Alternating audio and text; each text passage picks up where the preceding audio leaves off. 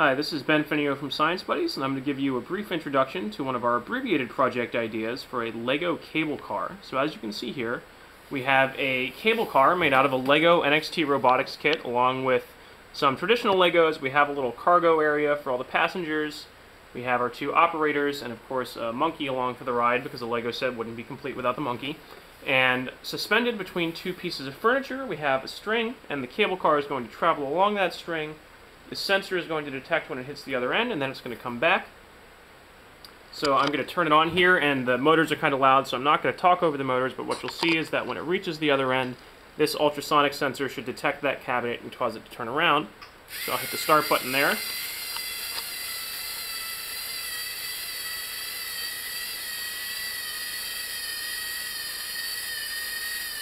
As it gets up there, the ultrasonic sensor should detect that cabinet. And there we go, it turns around.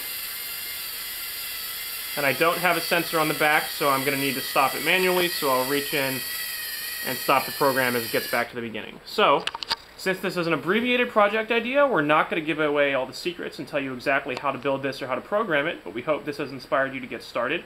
One safety note before you start, make sure you tie your string to two very heavy pieces of furniture in secure locations because these NXT kits are pretty heavy, so you don't want to just tie them to something sitting on a tabletop or try to weigh the string down with a book or something, you need to make sure both ends of your string are very secure because we don't want your Lego kit to fall to the floor and get smashed. So, we hope you enjoyed the video, and good luck!